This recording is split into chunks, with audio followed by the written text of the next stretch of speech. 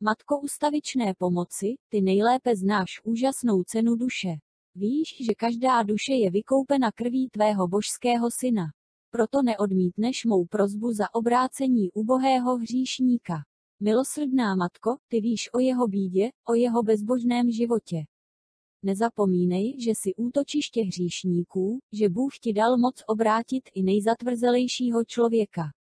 Moje úpěnlivé prozby zůstávají v jeho srdci bez odezvy. Když nepomůžeš ty, dobrotivá pano, bude padat hlouběji a hlouběji do propasti. Vypros mu milost, která jim zatřese a přivede ho k Bohu. A kdyby bylo potřeba, pošli mu i nějaké soužení, aby šel do sebe, zamyslel se nad sebou a udělal konec žalostné cestě bez Boha a proti Bohu.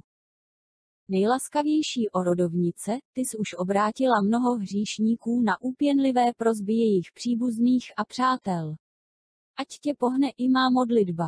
Obrať mého hříšníka. Maria, pomoz mi. Prosím tě o to každou žilkou svého srdce. Matko milosrdenství, pomoz. Amen.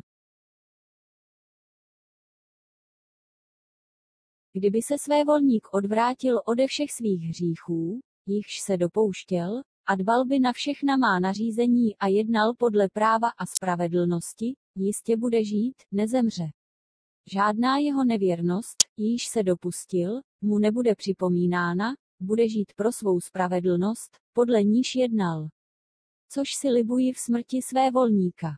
Je výrok panovníka hospodina. Zdali pak nechci, aby se odvrátil od svých cest a byl živ.